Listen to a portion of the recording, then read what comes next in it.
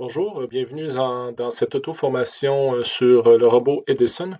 Euh, cette auto-formation est le fruit de la collaboration entre Luc Lagarde, conseiller pédagogique récit à la commission scolaire des Hauts-Bois de l'Outaouais, ainsi que de moi-même, Marc-André Mercier, conseiller au récit national maths, sciences, technologies.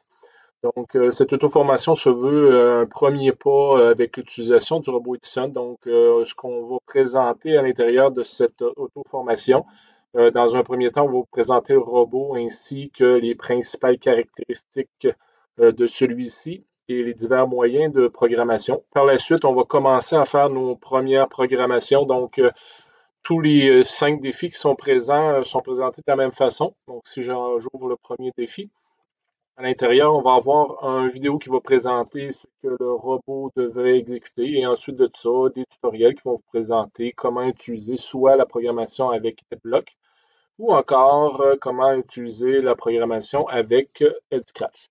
Euh, à la fin complètement, euh, ce qu'on vous suggère, c'est d'essayer de faire les défis par vous-même.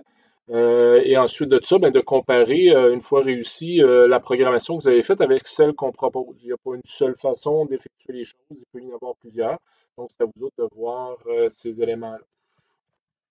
Euh, une fois les défis terminés, euh, à ne pas négliger euh, la partie ressources. Donc, ressources additionnelles, c'est des ressources qui vont vous permettre d'utiliser justement encore plus approfondi le robot Edison.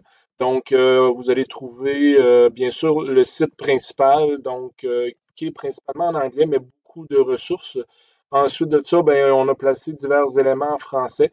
Et bien sûr, on a quelques éléments pour euh, le dépannage, pour euh, régler certaines situations. Donc, négligez pas d'aller voir cette section-là euh, si jamais vous avez des difficultés. Donc, amusez-vous bien dans cette auto-formation.